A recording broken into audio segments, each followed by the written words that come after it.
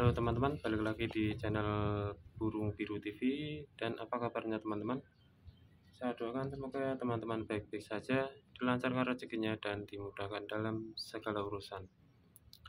Nah, untuk kesempatan kali ini saya tidak keluar rumah dulu dan hanya bisa merekam pemandangan pohon sawo ini ya teman-teman. Ini berada di loteng rumah dan mungkin teman-teman membutuhkan video tentang pohon sawo seperti ini bisa teman-teman download video ini. Karena video ini tentunya no copyright dan bisa digunakan kembali untuk keperluan konten teman-teman. Ini rekamannya sederhana saja ya teman-teman.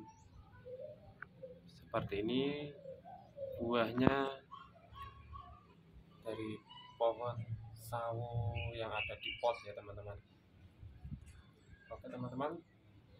Silahkan teman-teman download untuk keperluan konten. Terima kasih dan selamat menonton